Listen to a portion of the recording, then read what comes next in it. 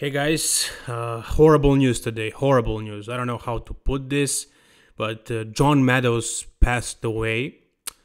It's horrible, really. Um, we had a couple of deaths, a few deaths in the past couple of years in bodybuilding, but this one hits hard. So, as you can see, this was posted by Digital Muscle Media, and they are a very reliable source of information. They wouldn't be saying this unless they were certain.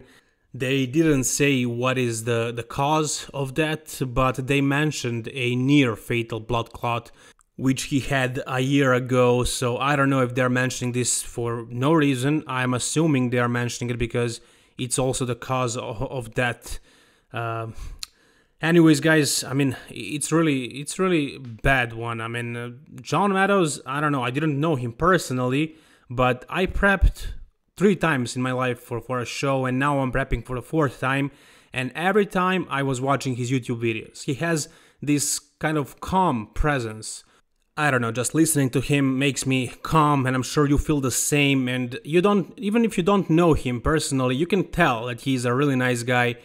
And he most certainly was one of the most knowledgeable bodybuilding coaches, bodybuilding gurus, or bodybuilders in the world.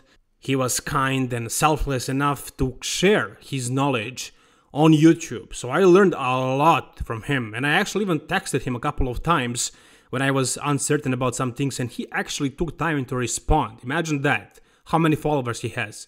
So that tells you what kind of a person he is. And many other things, many other things, and the way other people talk about him who actually knew him.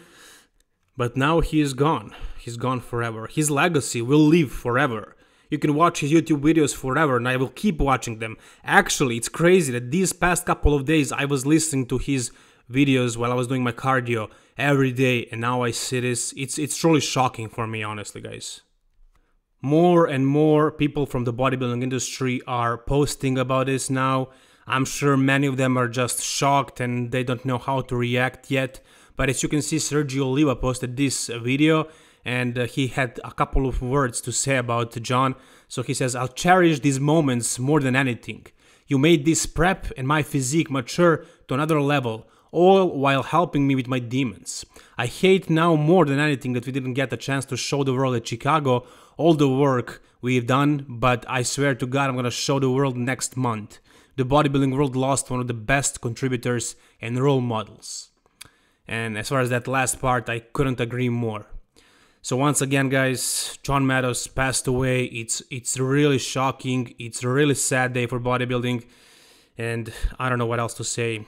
But uh, rest in peace, John Meadows, and thank you so much for everything you have done for bodybuilding world.